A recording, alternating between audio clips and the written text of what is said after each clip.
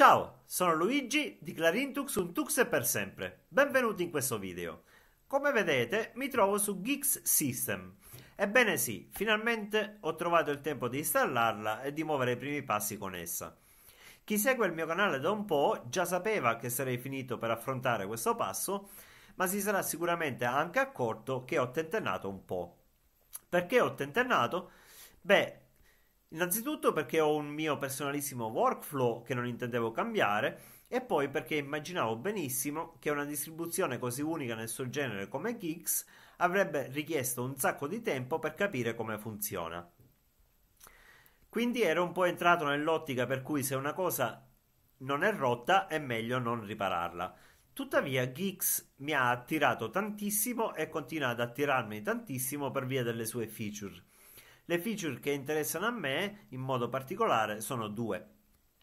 Ma per capire un po' di cosa sto parlando, facciamo un passo indietro e parliamo delle distribuzioni che ho utilizzato fino adesso. Allora, le distribuzioni che piacciono a me sono minimali e rolling release. Minimali perché parti appunto da una, part, da una base minimali, installi solo i pacchetti che vuoi tu e poi effettui tutte le configurazioni del caso per come vuoi. Mi sono sempre detto, ma non sarebbe bello, dopo aver effettuato queste configurazioni, ritrovarsele già preimpostate per una successiva installazione? Non sarebbe bello, insomma, avere la propria distribuzione GNU Linux già preconfigurata, ma preconfigurata per come vuoi tu?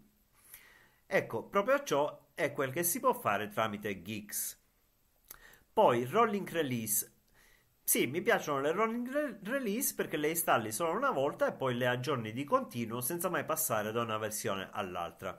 Ora, lungi da me dire che le rolling release siano instabili, però può sicuramente succedere che un aggiornamento ti vada a rompere qualcosa.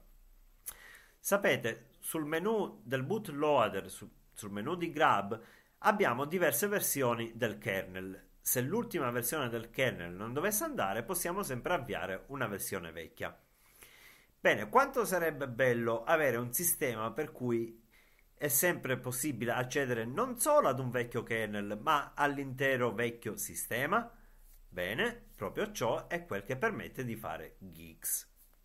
Ma bando alle ciance, direi di cominciare mostrandovi un po' le configurazioni che ho effettuato nel giro di una settimana, quindi badate bene che siamo ancora agli inizi, per poi darvi un po' di consigli nel caso in cui vogliate avventurarvi anche voi con Geeks. Allora ingrandisco un po' il terminale e vado sul file slash etc slash config.scm. Su questo file è possibile praticamente configurare qualunque cosa. Allora, come vedete abbiamo una sezione Operating System con diverse sottosezioni, ad esempio locale, per impostare il locale, appunto la, la lingua, poi Time Zone per impostare il fuso orario, Keyboard Layout per impostare il layout della tastiera, Host Name per impostare il nome della macchina e quindi come vedete sono delle impostazioni che vai a uh, configurare quando installi qualunque distribuzione GNU Linux. Qua una volta configurato su questo file te le, te le ritroverai già preimpostate per una successiva installazione. Poi ho voluto inserire anche un bel messaggio di avvio, quando si avvia il sistema mi ritrovo il benvenuto, benvenuto questo è il tuo sistema operativo. Poi abbiamo il file sudoers per chi non lo sapesse, il file sudoers è il file eh, con tutte le impostazioni di sudo, quindi ogni volta che utilizzate sudo ed un comando, sudo andrà a controllare quante sono le configurazioni sul file sudoers. Poi ancora abbiamo il file hosts, poi l'utente. Ecco, ehm, che sia chiaro, una volta scritto qua il nome dell'utente, i gruppi a cui appartiene, magari eh, una volta datogli anche una shell di default, bene, su una successiva installazione non dovrò nemmeno creare questo utente. Verrà già creato in modo automatico, dovrò solo imp- dargli una password ovviamente. Bene, poi ho la lista di tutti i pacchetti che ho installato su Geeks è possibile installare i pacchetti come semplice utente senza i poteri di root, senza sudo praticamente, ma ho preferito installare i pacchetti eh, sull'intero sistema e ritrovarmeli quindi su questo file per successive installazioni appunto. Vado in basso. Ecco qua parte la configurazione dei servizi, dei servizi avviati al boot. Ho, ho abilitato il servizio di Coops, il server di stampa, poi IP tables per uh, il firewall quindi da questo momento in poi non dovrò mai più configurare il firewall per come lo voglio ma è già preimpostato. Poi ho, va bene, ho optato per Slim come login manager di default ci sarebbe GDM però non andava al caso mio quindi l'ho cambiato. Con autologin preferisco effettuare eh, l'autologin senza inserire la password tanto inserisco già una password per decriptare la mia home che è criptata appunto. Poi cos'altro? Va bene con sysctl ho cambiato il valore della swap della swappiness.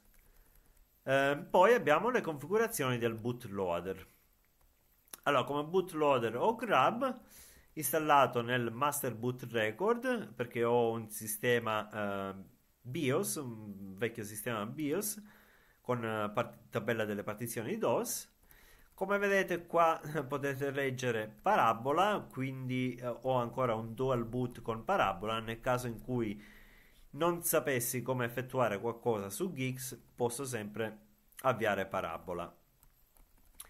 Poi ancora gli argomenti passati al kernel poi ancora la configurazione dello, dello, dell'area di swap, la configurazione poi del, dei diversi file system, ad, diverso, uh, ad esempio della home, della partizione root, eccetera. Bene, questa è la mia configurazione, diciamo che ancora vorrei fare molto di più, ma non è assolutamente facile. Geeks ha una curva di apprendimento molto alta.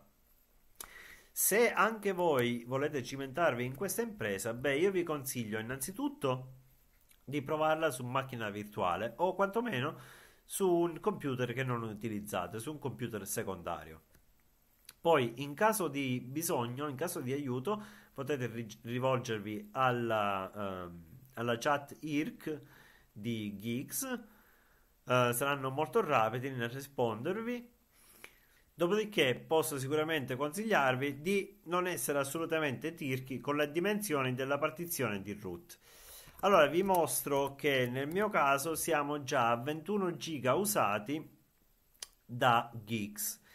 Allora, se fossi su una distribuzione eh, tradizionale saremmo probabilmente su massimo 9 giga, credo Fate conto che installo pacchetti minimali, insomma, non ho un desktop environment. Sì, certo, ho installato pacchetti come eh, LibreOffice, come GIMP, come un browser internet, ovviamente, ma di solito mi sto su uno spazio abbastanza ristretto. Quindi non siate tirchi, ma moltiplicate il valore, questo valore che trovate nel vostro caso, per un fattore di boh, fate voi. Perché Geeks occupa più spazio? Beh, come detto, ogni volta che si cambia qualcosa sul sistema, ogni volta che c'è un aggiornamento, i vecchi pacchetti non vengono cancellati, quindi ti, ti ritrovi installati le versioni vecchie e anche quelle nuove. Per questo motivo andrai ad occupare sul disco molto più spazio.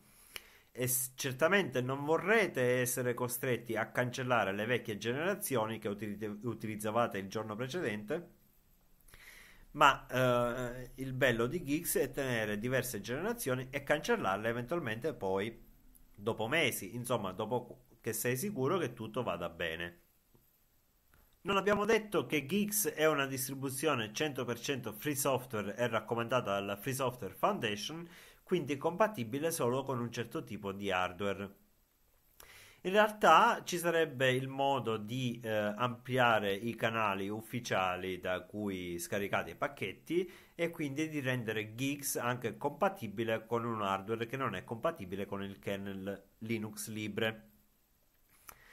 In realtà su Geeks puoi, puoi rendere Geeks una distribuzione non 100% free software ma in quel caso potreste rivolgervi anche a Nix OS che è molto simile a Geeks ma non ha lo scopo di essere 100% free software. Va bene, non mi viene in mente nient'altro per ora, quindi io vi saluto.